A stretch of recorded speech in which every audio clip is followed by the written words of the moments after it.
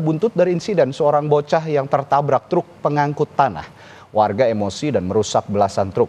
Polisi yang mencoba membubarkan masa juga ikut kena amuk warga.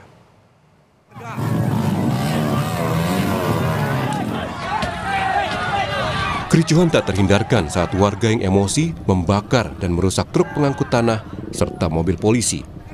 Masa mengeluhkan truk pengangkut tanah yang kerap lalu lalang di luar jam operasional yang diperbolehkan sehingga mengganggu aktivitas warga. Kemarahan warga terjadi usai truk pengangkut tanah menabrak bocah berusia 9 tahun di Jalan Raya Salembaran Jaya Kosambi. Masyarakat sudah apa?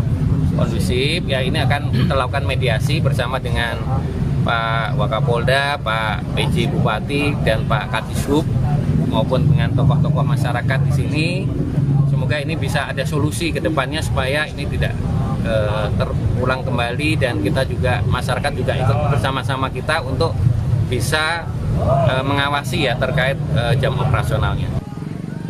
Warga mengaku kesal akibat ulah sopir truk pengangkut tanah yang kerap beroperasi di luar jam operasional dan mengancam keselamatan pejalan kaki. Korban yang masih berusia 9 tahun mengalami patah kaki dan kini dirawat di rumah sakit. Warga berharap tak ada lagi pengendara truk yang beroperasi di luar jam yang telah ditentukan. Kecelakaan tuh makan korban lagi anak kecil pak Dari belanja komplek pulang ditabrak mobil Kakinya hancur umur 9 tahun Tapi korban meninggal atau bagaimana? Tidak korban hidup di rumah sakit Oh berarti ini dihancurkan oleh warga? Oh sama masa semua kita merasa udah capek udah geram sama mobil tanah Sopir truk yang menabrak seorang anak berusia 9 tahun hingga mengalami luka di bagian kaki ditetapkan sebagai tersangka. Hasil pemeriksaan polisi, tersangka positif mengonsumsi narkoba.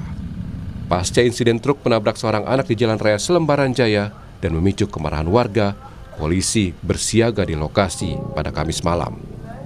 Sudah, ah, jadi pengemudi juga sudah kita tetapkan sebagai tersangka dan saya perintahkan untuk lakukan cek urin ya ternyata positif juga urinnya positif mengandung amfetamin ya Atas kejadian ini disepakati, tak ada truk yang beroperasi melintasi jalan tersebut selama tiga hari ke depan.